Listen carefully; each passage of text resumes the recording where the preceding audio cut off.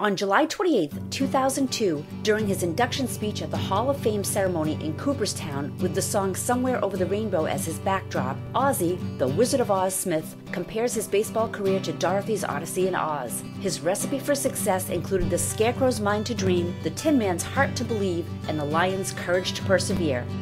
On July 28, 2006, a statue was dedicated at the National Baseball Hall of Fame and Museum honoring Hall of Famer Satchel Paige. The statue depicts Paige in his high leg kick and celebrates the players in the Negro Leagues and pre Negro League eras.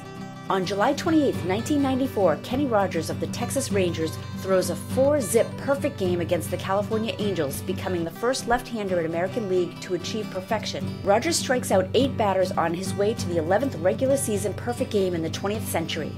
On July 28, 1991, Dennis Martinez of the Expos tosses the 13th perfect game in Major League history, setting down all 27 Dodgers to face him in a 2 zip win. Martinez would strike out five in the contest, and catcher Ron Hassey becomes the first receiver to catch two perfect games, having called the Indians Len Barker's masterpiece in 1981. Dodger infielder Alfredo Griffin goes 0 for 3 against Martinez to go along with his 0 for 2 performance in Barker's Perfecto in 1981.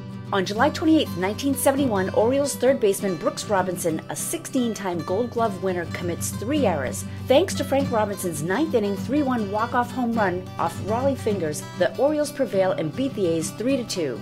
On July 28, 1890, future Hall of Famer pitcher Mickey Welch wins his 300th game of his career. Smiling Mickey would win seven more games in the following year in his final season. That was July 28th, this day in baseball.